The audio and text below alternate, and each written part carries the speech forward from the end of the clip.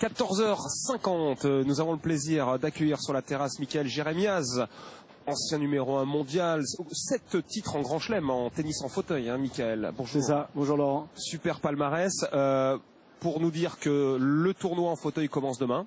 Voilà, on a le tirage au sort là dans Voilà. une petite demi-heure et on commence demain sur le cours 7 et 9. Et alors surtout, vous allez nous parler d'une opération euh, assez incroyable euh, que vous montez euh, jeudi, ouverte au grand public. Regardez ce qui justement vous attend si vous êtes du côté de Roland Garros, une expérience assez unique.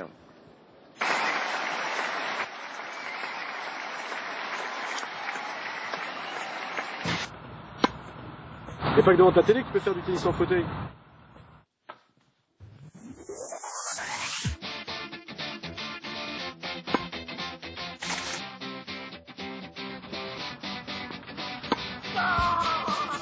Joli coup. Et tu fais quoi le 4 juin Il y a quoi le 4 juin Un truc de fou. Le club numéro 6 avec un casting incroyable.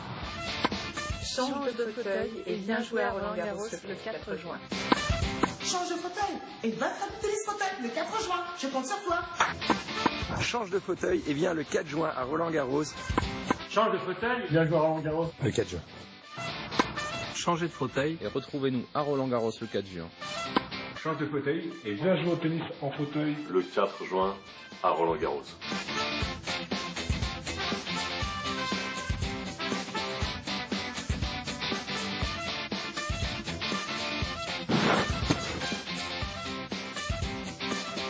Et vous, vous y serez Sylvain, pas dans le filet là, Sylvain. Voilà, évidemment, comme chaque année sur France Télévisions, on n'oublie pas le tournoi de tennis en fauteuil. Donc jeudi, tout le monde pourra euh, bah, euh, ressentir euh, ce qui se passe quand on joue au tennis dans un fauteuil. Ouais, pour la deuxième année consécutive, la Fédération française de tennis et la Fédération française handisport organisent en partenariat avec Adeco et Babola une grande journée de découverte du tennis en fauteuil au grand public. L'année dernière, il y a 1000 personnes qui sont passées, plus de 100 personnes ont joué. Ouais. Cette année, donc euh, des adultes, des enfants, des personnes valides, des personnes handicapées peuvent s'essayer au tennis en fauteuil et ensuite venir nous voir jouer puisque sur le 7 et le 9 jeudi, on fera aussi les demi-finales du tournoi de tennis en fauteuil. super compliqué hein, quand on n'est pas habitué. C'est euh. très technique, c'est dur de faire du fauteuil de manière générale, c'est quelque chose de pas naturel. Et ensuite, la pratique du tennis en fauteuil est complexe, mais c'est un sport extrêmement plaisant à jouer, très spectaculaire. Et l'idée, c'est vraiment là de se familiariser avec ça.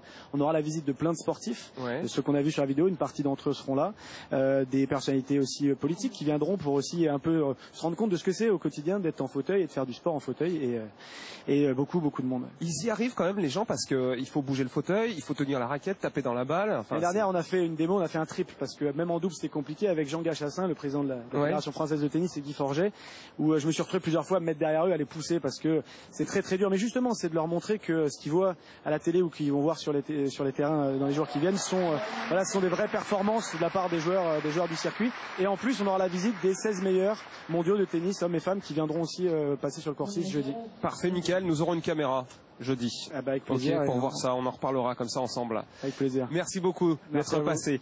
Euh, alors, je vous le rappelle, hein, il y a deux quarts de finale qui nous attendent, Federer, Wawrinka et surtout